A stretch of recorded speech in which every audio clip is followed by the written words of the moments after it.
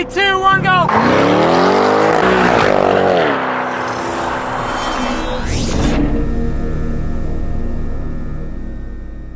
What's up everyone? Welcome back to Valvetronic Designs.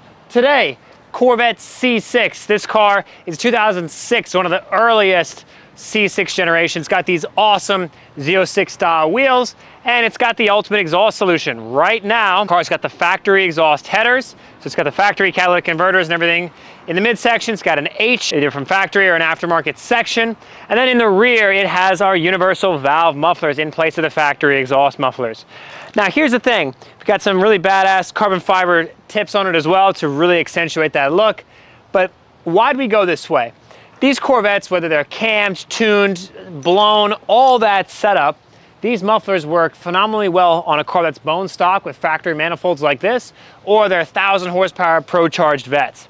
Here's the thing, you gotta have the flexibility, and that's what we're gonna show you in this video. The universal mufflers truly do reign supreme, whether they're on something like this, something like that Cayman, or what other vehicle you wanna put them on.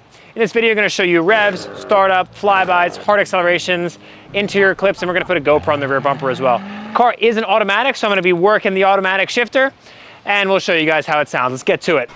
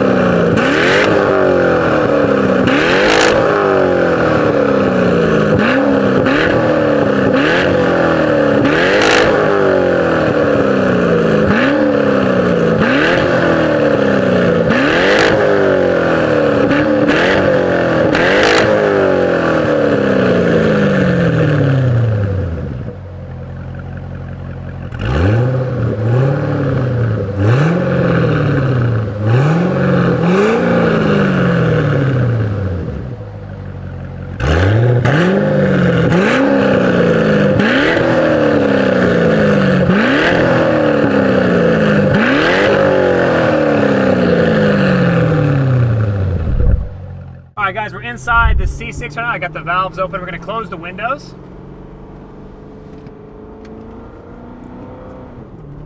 And with the valves open, you get a really nice, throaty, aggressive sound. Sounds really good. You get a lot of overrun too. Listen. Lots of overrun, which is really fun. But the good thing is, if I close the exhaust,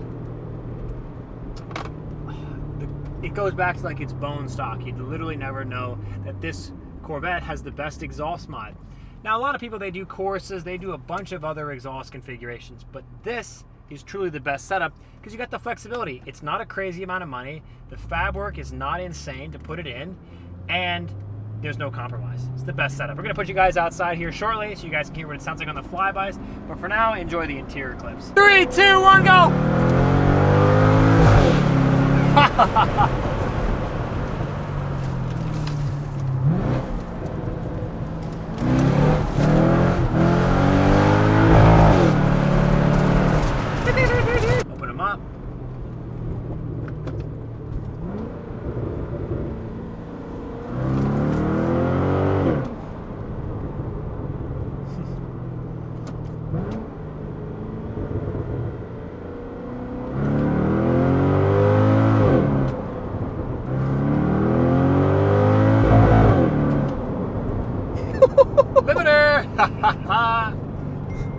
That was crazy. Fucking shit, it's hot.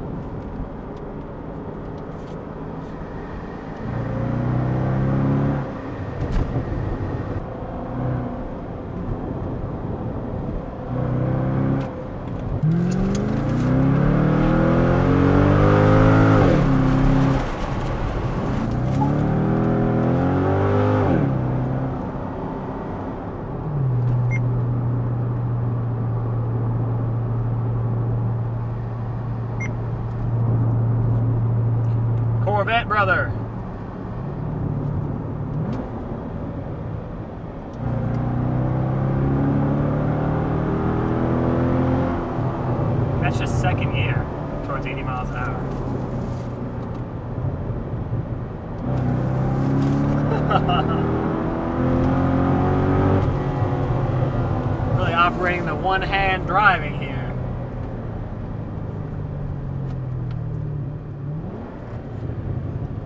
Pretty good rev match there. A lot of stuff is flying around back there. Sorry, viewers. Look at the pops. A lot of pops.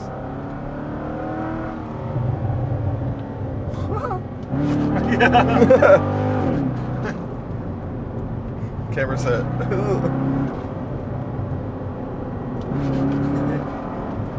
Ready? Downshift. In the first.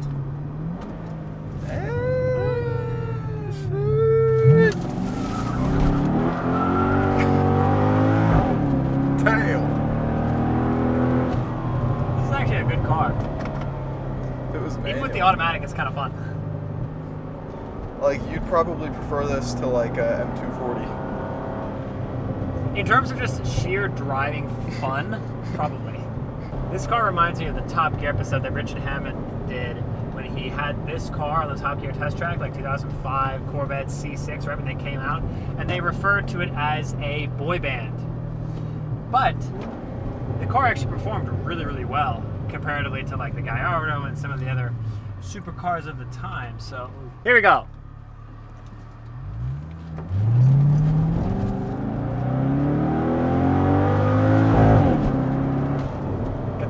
Got Shift. Z3. Nice.